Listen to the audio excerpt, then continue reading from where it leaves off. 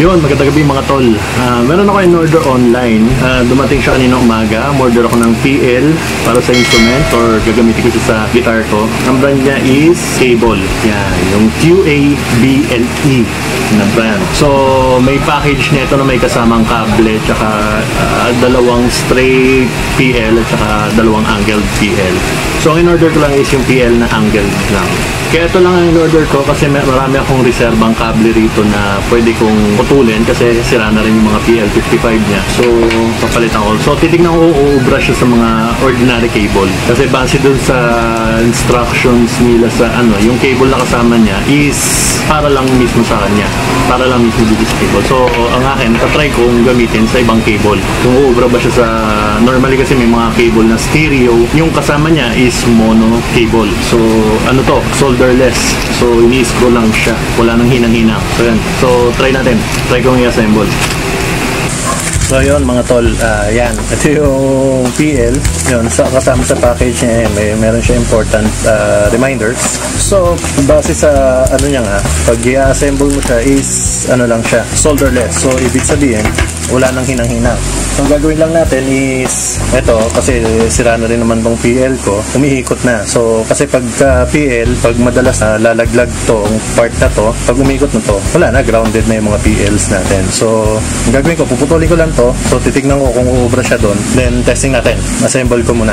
Okay, putol.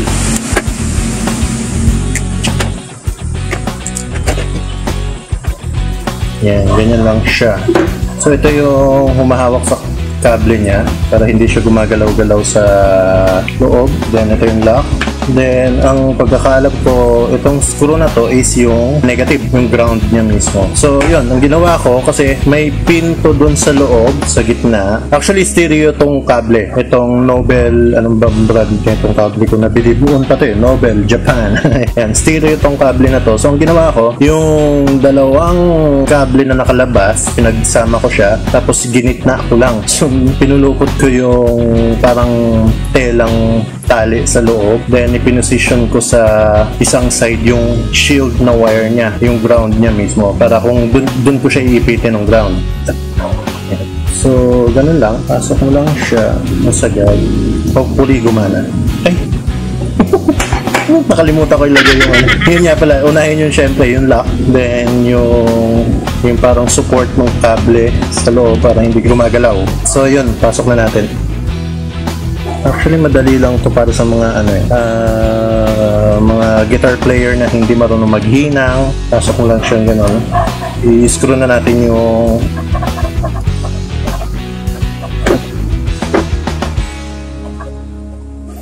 Then yung kabila naman.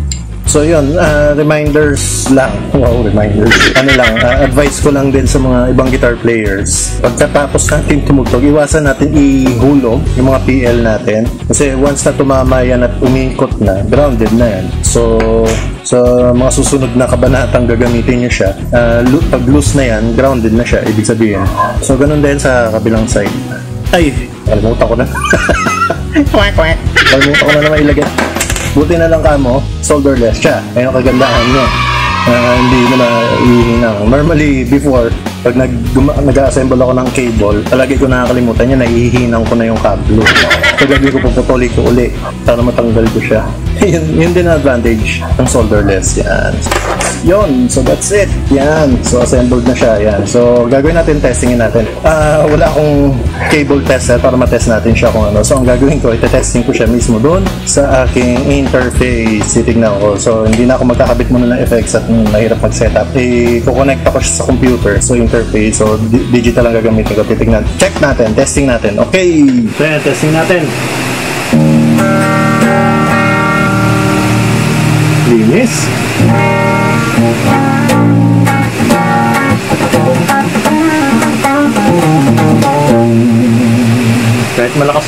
Oh.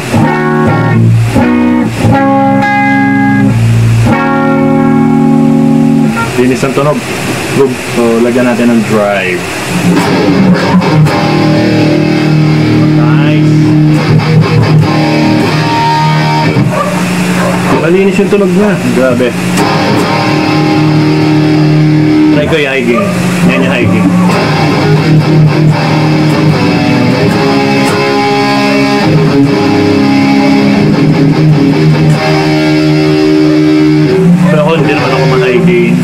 nice.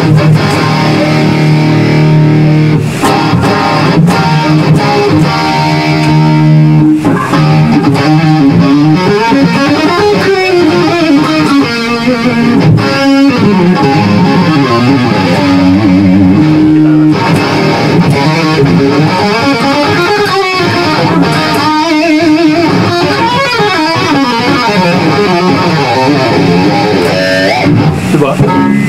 Thank you.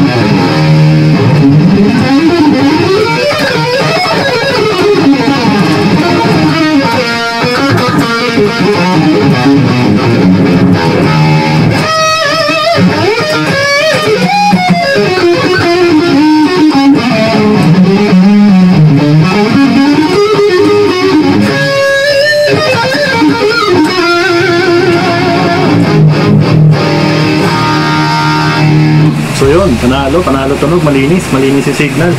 Wala akong masabi, order pa ako ng panibago. Isa pang set. Meron pa ako available na cable dito, so order pa ako.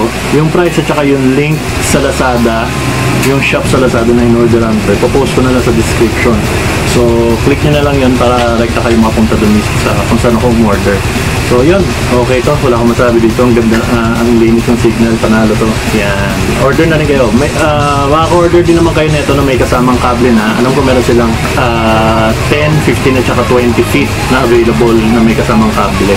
Yung package na kasama yata nila is kasama dalawang PL na angle at saka dalawang PL na straight. So may option kayo kung anong trick yung ikabit mismo dun sa kable. So yun, kung nagustuhan nyo itong video na to, i-thumbs up nyo, i-like nyo, and then share nyo na rin. And then subscribe na kayo sa channel ko para sa mga susunod na videos na gagawin ko. And then follow nyo rin ako sa FB page, PG Mathematico, at saka sa Instagram. So kita-kita tayo sa mga susunod na video ng Saiwar. Sharu!